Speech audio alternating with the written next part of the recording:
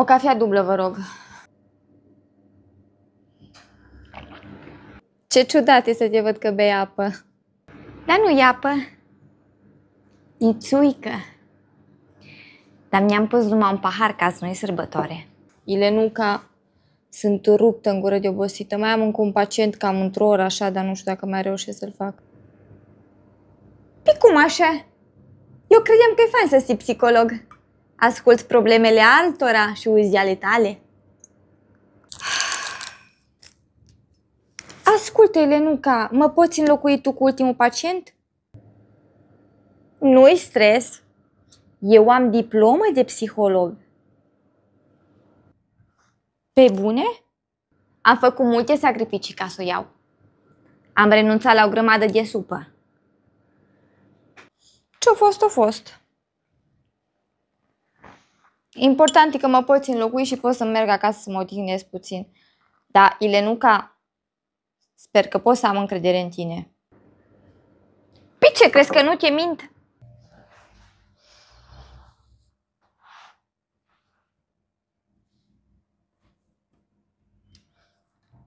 Bună, vă rog, spuneți-mi numele Ilenuca, două minute și plec. Te rog frumos să fii foarte amabilă cu pacientul.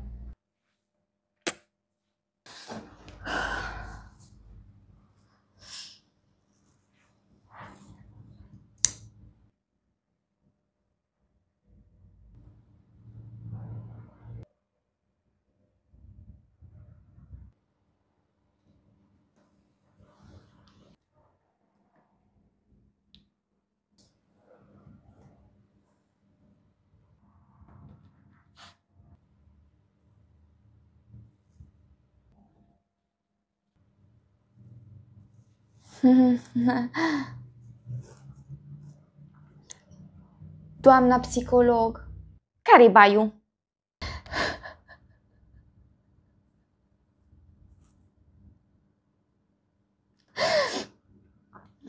am un mare disconfort pentru că merg la școală și toate colegile mele au haine de marcă și care costă mulți bani și eu mă simt așa pe din afară.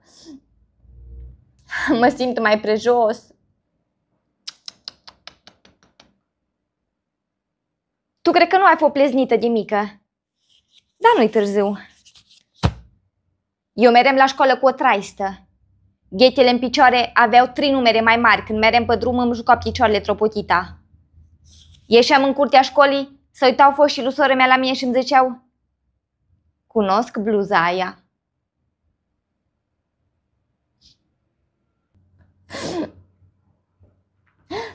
Și cum ați rezolvat? N-am mai mers la școală.